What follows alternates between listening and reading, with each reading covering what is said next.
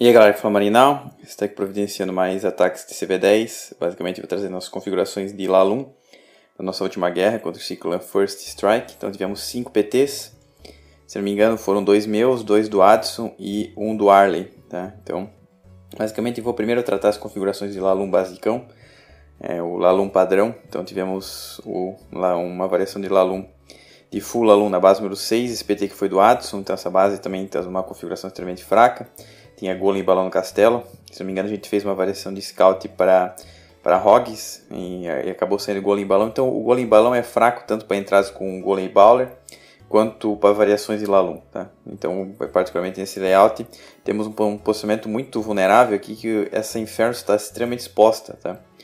Primeiro que ela, é, geralmente quando o pessoal coloca essa configuração de Inferno relativamente exposta, o ideal é você colocar a Inferno protegendo a quebra de muro. Então essa Inferno deveria ter um pouco mais para baixo, tá? nesse, nesse tipo de configuração. Mas aqui, ó, ela está nesse compartimento, ela não protege uma quebra de muro aqui feita aqui por baixo. Por isso que eu consigo quebrar esse muro com extrema facilidade, dando acesso para a rainha chegar até Inferno. E esse cara até teve um, um, certo agravante, o cara botou duas Teslas aqui embaixo. Então deu um valor monstruoso para uma entrada que o casal aqui pega no Inferno. O castelo também não sai nesse posicionamento. Então, basicamente, além de pegar Inferno, pegar duas Tesla, defesa aérea e a porra toda aqui embaixo, ainda direciona completamente o drop. Né? Porque depois ele pode tanto dropar por essa posição quanto por essa, tá? Então, foi uma configuração padrão, uma, uma, uma vila com uma configuração fraca. Simplesmente precisa funilar um, uma, uma lateral e a outra aqui é funila com balão, esse morteiro, com extrema facilidade. O rei está tancando as Teslas. Aqui, ó, ele basicamente está esperando um certo tempo para soltar a rainha, mas eu acredito que ele já poderia ter soltado a rainha nessa configuração, porque tem dois armazéns aqui. Um, um, um dos medos maiores é efetivamente você soltar a rainha antes da lateral estar afunilada. Tá? Então, esse é um problema, porque vamos supor que ele solta a rainha nessa posição, a rainha limpa essas construções, a lateral não foi afunilada, a rainha roda para o lado de fora. Pelo fato de, dessa configuração de inferno, é, ela está extremamente longe então é importante a, lateral já estar afunilada quando você solta a rainha. Só que aqui tem dois armazéns, a tendência é a rainha levar um tempo enorme para limpar isso aqui. Então era quase certo que de um jeito ou de outro é, iria dar tempo dele afunilar os dois posicionamentos. Mas percebam, tá? Essa configuração pelo fato de quando você quer levar a inferno com a rainha, a inferno geralmente está mais longe do que uma defesa comum. Tá? Por exemplo, se fosse uma X besta, geralmente está colada no muro. Pelo fato de ela estar mais longe, é importante as laterais estarem completamente afuniladas, porque senão ela não vem para inferno, tá? Foi exatamente o que o, o que o fez aqui, nessa, nessa configuração, tá? Então pegou inferno. Aqui eu teria dropado pelo outro lado, tá? Eu teria dropado por aqui sem dúvida, porque eu basicamente já consigo anular o primeiro dispersor, tá vendo que nem chega a agir nesse canhão. E eu pego as costas do outro, anulo completamente, além do fato de eu iniciar o drop longe da modo simples, tá? Então percebo que aqui eu tenho um, aproveitamento muito bom da, da vida do lava. Então talvez eu poderia iniciar com lava level 4 e um lava level 3 nessa aérea, depois soltar o último lava aqui. Ela meio que acaba é, matando esse lava, mas é meio que você acaba é, sendo forçado a dropar um lava aqui para meio que distrair essas torres do mago, esse, esse posicionamento, tá? Então o drop, sem dúvida, seria melhor ser feito por aqui. Ele basicamente fez uma configuração de drop por aqui, eu achei que foi um pouco mais difícil, tá? Embora sobrou uma cura, mas sobrou uma cura porque essa base tem uma configuração muito fraca. Ó, ele direcionou completamente, tanto um drop por esse lado quanto pelo outro. Aqui está basicamente usando arqueiras para distrair o golem, Vamos perceber o que vai acontecer quando você inicia o drop pela simples, ó. Esse lava vai ser completamente aniquilado pela modo simples, ó. Ele fez um drop rápido, o drop dele foi bom, ó. O primeiro lava morreu, o segundo lava já, eh, lava já morreu, tá vendo? Ele não teve aproveitamento nenhum dos lavas. Então ele basicamente soltou dois lavas para morte, finalizou a rainha de esqueleto.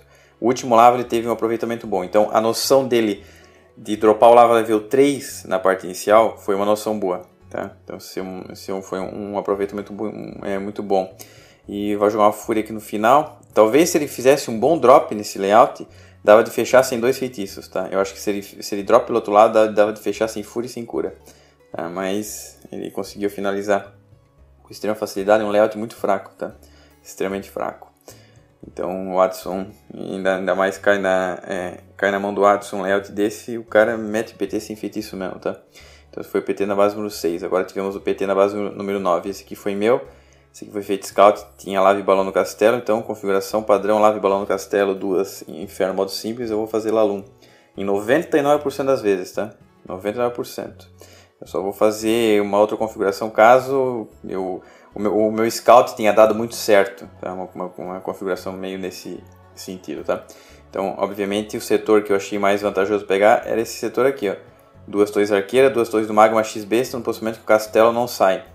Aqui temos a proteção do rei, então aqui é meio chato pegar essas, essas duas defesas aéreas. Aqui também é meio chato, porque temos a proteção do inferno modo simples naquele posicionamento, e o castelo também sai.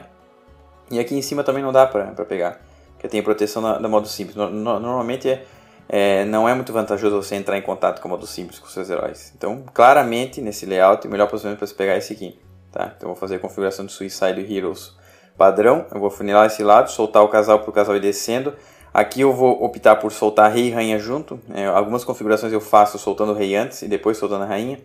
Mas nessa configuração eu queria que a rainha levasse essa torre arqueira e descesse. Tá? Por isso que eu soltei o casal junto nesse posicionamento. Porque eu, eu, eu, poderia soltar o rei e afunilar completamente essa lateral, só que aqui a rainha tende a ficar um pouco mais exposta para essas defesas. Então eu optei por fazer a configuração de casal junto. Eu soltei é, o, quebrador, o, quebrador, o quebrador testa naquela posição, quebrei o resto. Percebo que eu ainda não usei o poder do rei. Normalmente eu comento que eu uso o poder do rei para trazer a rainha para o centro do layout. Né? Isso aí padrão, quando eu faço a configuração dos dois heróis juntos. Mas eu uso o poder do rei quando a rainha está no posicionamento correto. Aqui, se eu uso o poder do rei e quebro essas duas construções, o que acontece com a rainha? Ela roda para cima. Tá? A tendência é, eu, eu, eu, eu, durante a live que eu estava atacando, eu percebi que a rainha nessa posição iria rodar para cima, então eu fiquei com medo tá? nessa configuração. Então o que eu, que eu fiz? Eu imaginei que a construção mais próxima era o morteiro, então eu deixei o morteiro de pé exatamente para trazer a rainha para baixo. Agora a rainha veio para o morteiro. Agora nessa posição, ela está no posicionamento perfeito. Porque eu sei que se eu usar o poder de quebrar essas construções, a rainha vem para essa torre do mago e entra para a segunda torre do mago.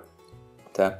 Então é importante, isso daí só vem com, com, com a prática, tá? Vocês têm que atacar bastante em desafio, bastante configuração de Suicide Heroes para você ter esse, esse tipo de, de improviso meio que é, é, ali na hora, tá? Imaginando que a rainha iria descer. Então, no, normalmente eu uso o poder do rei para limpar rapidamente as construções da lateral quando a rainha já está no posicionamento correto, onde eu, eu, já quero que ela efetivamente invada o centro do layout, tá?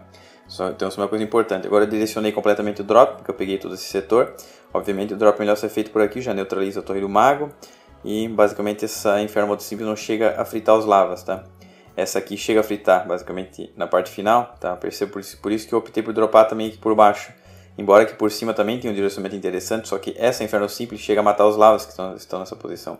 Uma coisa que não acontece aqui por baixo, tá? Então, né, novamente, é importante você verificar. É, infelizmente, esse cara tem uma porrada de bomba vermelha do lado de fora. Eu soltei dois lavas ali naquela posição, já deixei a aceleração dropada, o que vai me dar a condição de já deixar uma fúria dropada nesse posicionamento. Os balões estavam com, com, bem pouca vida, porque vai explodir, explodir uma bomba vermelha do lado de fora e uma bomba vermelha nessa, nessa, posição, mas o fato da fúria já estar dropada agilizou muito o processo de destruição desse posicionamento e vai me dar a condição de finalizar até a X-Besta, meio que no sufoco, mas o fato de eu ter feito essa configuração extremamente rápida, eu consegui finalizar. Ó. Joguei o feitiço esqueleto em cima da rainha e continuei o drop aqui nessa posição. Vi que o dispersor estava agindo nesse posicionamento, vou acelerar e basicamente vou meter uma fúria aqui na na parte final, que nem foi tão efetivo, porque estava meio que de frente para o dispersor, mas era, em si é, era o único feitiço que eu tinha e curei, tá? E consegui finalizar, uma variação de Lalum é, padrão, tá? Que eu sempre faço, então assim, é um, um ataque muito comum. Infelizmente esse cara tem uma porrada de bomba vermelha aqui do lado de fora, e junto com o caveira em modo aéreo vai matar todos os meus balões, ó. Tem três bombas vermelhas aqui do lado de fora aqui, ó. Eu acho que vai explodir mais uma eu vou perder todos os balões. Não sei porque o cara fez essa merda, mas quase que me complicou, porque eu quase dei feio por tempo. Acho que eu dei PT, acho que faltando uns 3 segundos, ó, porque ficou só pup servo, tá? Mas, é, mesmo assim consegui finalizar apenas com ataque, tá? Então, novamente, o PT de Lalum padrão. E o meu outro PT de Lalum foi na base número 13. Então, novamente, lava e balão no castelo, duas inferno modo simples, Lalum, acabou, tá? É, essa é uma configuração que eu estou dando PT, cara, quase, quase sempre do PT, tá? Então é importante vocês terem uma consistência extremamente, extremamente alta nesse tipo de configuração, porque os clãs gringos, a tendência está colocando muita variação nesse sentido, tá? Se o cara der uma vacilada e fizer isso aí, então duas inferno modo simples, tem que ter bruxo e baby no castelo, não coloquem lá, tá? Hipótese alguma, porque senão vai vir um cara e vai fechar de lalum com uma facilidade extrema se o cara tiver um conhecimento bom. Então, obviamente nessa posição é sem scout, por, por exemplo, o posicionamento melhor para se pegar são essas duas defesas aéreas, tá? Porque eu pegando esse posicionamento, depois eu posso dropar nessa posição, ou dropar por aqui, ou dropar aqui por cima, talvez aqui por cima até um pouco melhor, que eu direciono os balões direto para X besta, tá? Então, a minha ideia inicial, se não me engano, o scout que foi feito, é, a gente tentou pegar essas duas defesas aéreas. Infelizmente, o rei acabou atrapalhando um pouco. Mas, sem dúvida, essa posição é uma posição muito interessante para se pegar. Só que depois que foi feito scout, pegou duas Teslas aqui, atrás dessas torres arqueiras. Tesla que desgoverna o drop para as torres arqueiras, que atrapalha pra caralho. E Tesla tem um valor muito bom. Então, depois que o scout pegou duas Teslas, obviamente eu modifiquei o da, da, da, da entrada que eu pretendia fazer, que era nessa posição, para pegar aqui em cima, tá? Então a minha ideia era quebrar e pegar até a X-Besta. Por quê? Porque a X-Besta é uma defesa que demora para cair, tá? E tende a desgovernar bastante meu drop. Porque como eu queria dropar nessa posição, a X-Besta mata todos os bônus que forem para inferno modo simples, entenderam? Por isso que é importante eu pegar ela com o meu casal. E é, é, eu poderia até ser comentado que eu dropasse direto em cima dela, só que eu dropando direto em cima dela, a rainha tende a matar os bolões que vêm para X-Besta. Todos os bolões que eu dropar em cima dela, na parte inicial do drop, morrem. Entenderam? Então não, eu, não, eu não consigo dropar em cima dela. Então isso é um, um, problema sério, por isso que eu meio que sou forçado a pegar ela com meus heróis, tá? Então preciso soltar o rei, soltei a rainha, tá? Soltei um, um basicamente um, um quebrador teste, ó, pra ver, ó, e foi uma das coisas que acabou ajudando, que tinha uma, uma bomba gigante. Aqui eu vi que o rei iria morrer, então foi meio que forçado a, a meter o poder. Essa quebra de muro foi equivocada, porque eu não queria quebrar nessa torre arqueira, eu queria quebrar na outra, tá? Só que como eu soltei quebra de muro antes da rainha quebrar a torre arqueira, ela abriu esse compartimento. Coisa que prejudicou um pouco, porque eu, a, a, rainha acabou não levando essa, essa torre do mago, tá? Porque eu queria quebrar nesse compartimento e não no outro. Porque se eu quebrando essa posição, a rainha descendo para a torre do mago, a rainha nesse compartimento tem range para levar as duas torres do mago, entenderam? Se eu botar a rainha nessa posição, ela leva uma, uma torre do mago, leva XB e leva outra torre do mago desse posicionamento. Só que eu quebrando nessa posição, a rainha não tem range para levar, entendeu? Nesse compartimento, ela não pega duas torres do mago, por isso que eu queria quebrar no outro, mas infelizmente eu errei quebrou de muro, tá? Errei basicamente o tempo deles. Eu soltei enquanto a, enquanto a torre arqueira desse compartimento estava de pé. Mas eu dropei direto nessa torre do mago depois e acabou não, não tendo basicamente é, diferença nenhuma. Soltei o lava, infelizmente vai ter uma bomba vermelha aqui nessa posição, vai dar um dano interessante nesses balões. Ó, eu deveria ter dropado a aceleração antes, eu simplesmente esqueci, tá? Simplesmente esqueci de, de, de dropar.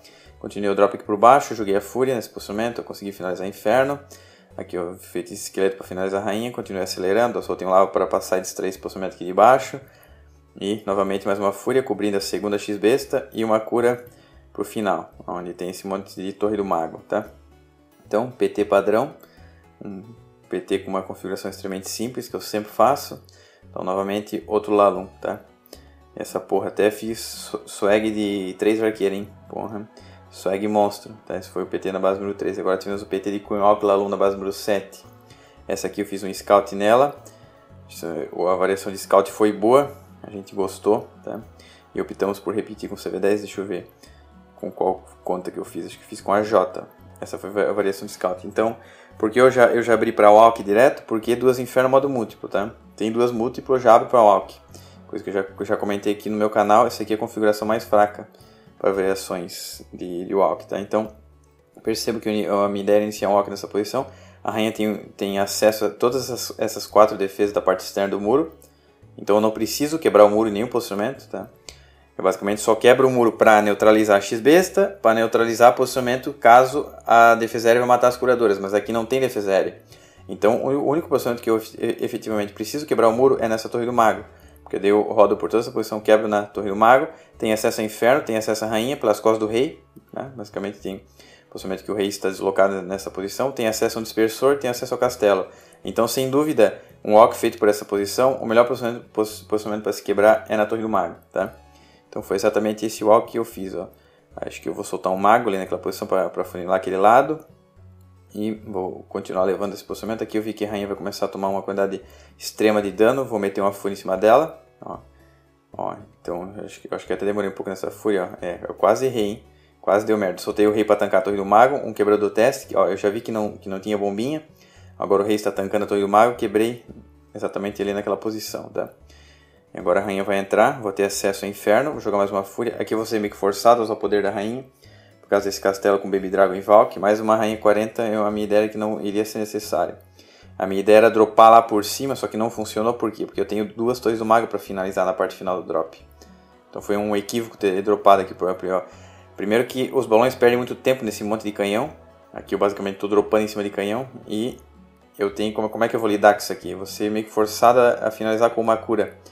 Entenderam? Por isso que quando eu hitei com CV10, eu fiz basicamente o mesmo alk e dropei pelo outro lado. Essa torre do mago não deixou finalizar. Então é aquela configuração que eu comento com vocês. Então eu, eu hitei com AD, infelizmente eu dei 98%. Deixa eu ver aqui. Eu dei 98% aqui, ó. É, infelizmente acabei é, dando feio por tempo. Acho que ficou uma Tesla de pé, então fiz a mesma configuração do Walk. Eu já sabia que aqui não tinha Tesla, não tinha porra nenhuma, então não precisava do mago, só tinha uma arqueira apenas. Então fiz a mesma configuração. Ó, tô levando aquele posicionamento, vou, agora eu vou meio que jogar essa fúria já, porque eu já sabia que a rainha iria tomar muito dano. Eu já sabia que não tinha bombinha, porque eu já tinha atacado com o CV9, então soltei quebrou de muro direto, quebrei. Agora eu vou meter mais uma fúria nessa posição, para finalizar o castelo.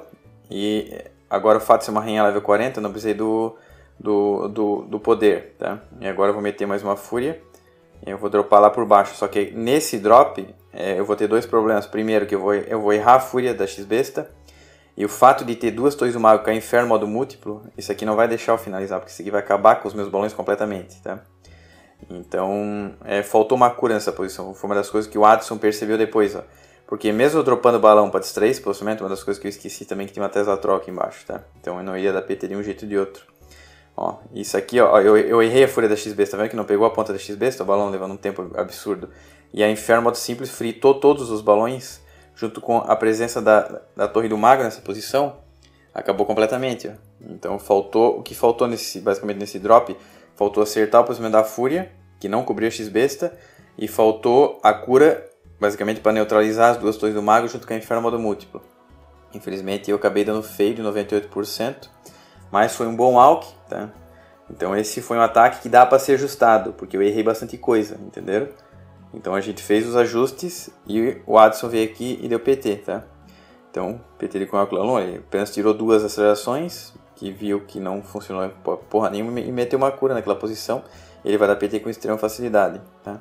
Então fez a mesma configuração, se metal, jogou a fúria, agora quebrou o muro e ele vai meio que... Ele jogou a fúria um pouco mais para trás do que eu joguei, porque ele viu que se dispersou empurrou bastante escuradoras para trás. E agora ele finalizou a rainha, vai meter uma fúria em cima Agora o drop, tá? Ele optou por dropar a fúria nessa posição, cobrindo a X-Besta rapidamente e uma aceleração direto nesse, é, nesse, posicionamento. Quando vai chegar perto das torres do mago, ele vai simplesmente curar, tá? Ó, curou. E agora Inferno modo simples, é, modo múltiplo está agindo, mas tem uma porrada de, de balão sendo protegido pela cura. Olha, olha o tanto de balões que ele tem. Os balões estão full life nessa posição. Então ele conseguiu finalizar, tá? Sobrou uma porrada de balões ainda.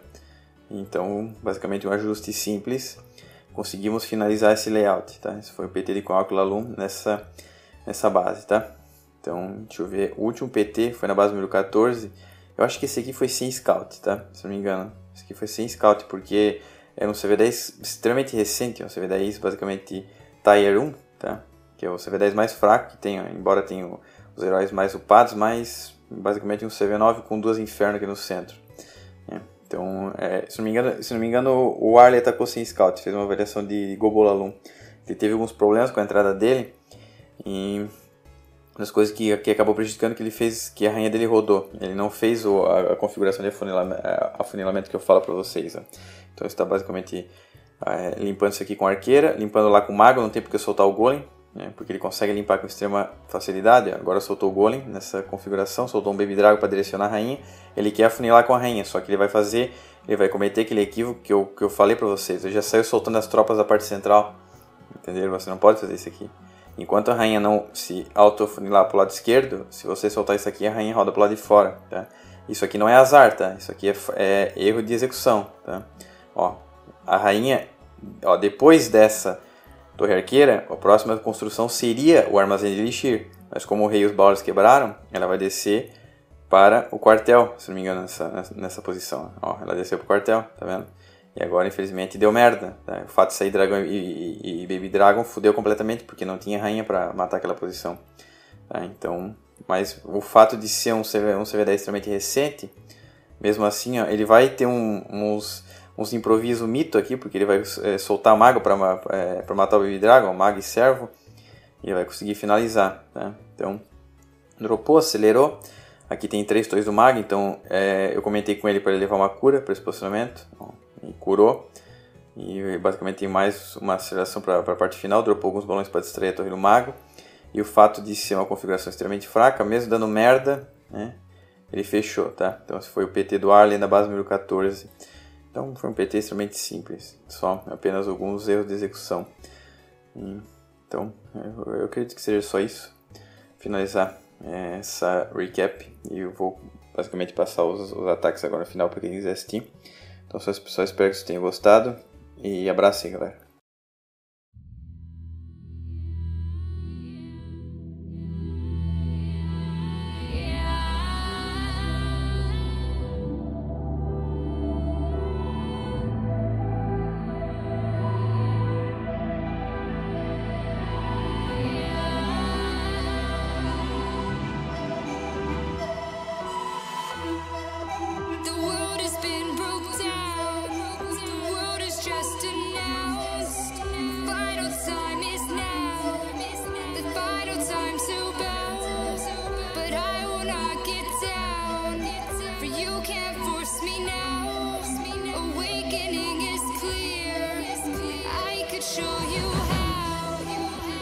you.